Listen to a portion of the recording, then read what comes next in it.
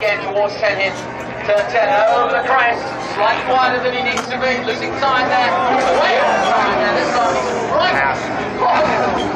That's Carl's confident.